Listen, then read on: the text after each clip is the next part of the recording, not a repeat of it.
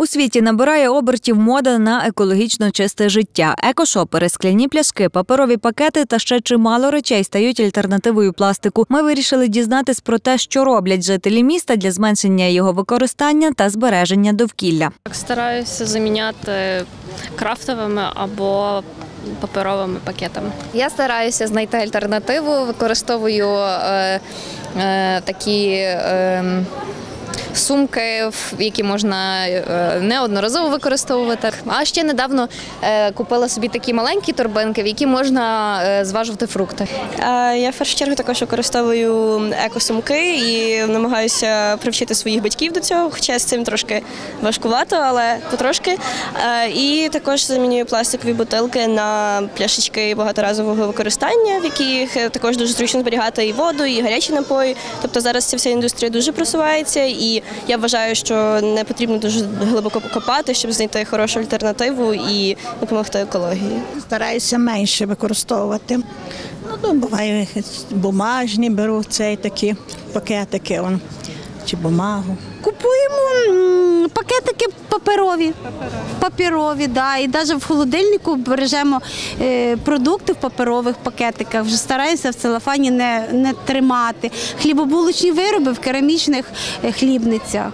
Вже трохи привчилися і хочу привчити своїх онуків до цього. Про свідоме бачення життя без пластику та способи його впровадження знає студентка одного із тернопільських вишів Діана Лисенко. Треба віддати належне соціальним мережам, інстаграму і блогерам, які почали пропагувати те, що нашій землі погано через велику кількість пластику, яка отруює нашу планету.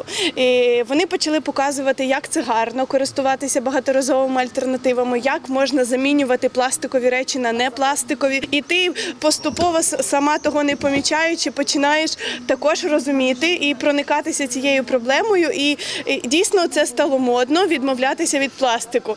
Е, Потім поч- почала цікавитися літературою, відеоматеріалами. Існує чимало варіантів, за допомогою яких можна мінімізувати сміття у побуті. Почала з великих сумок шоперів та і почала на касах в супермаркетах казати ні, дякую, е, я зі своїм пакетом. Ну трошки було не- е, некомфортно, але з часом ти починаєш пишатися цим своїм рішенням і вже випереджаєш питання касира і кажеш ні, дякую, пакету не треба.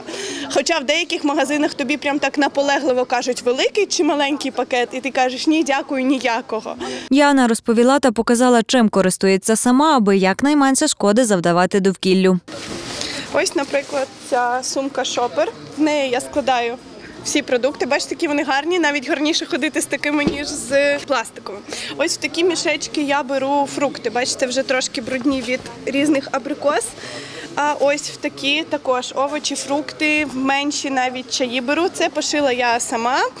Е, так, е, ось в такі термокружки я беру з дому чай, каву.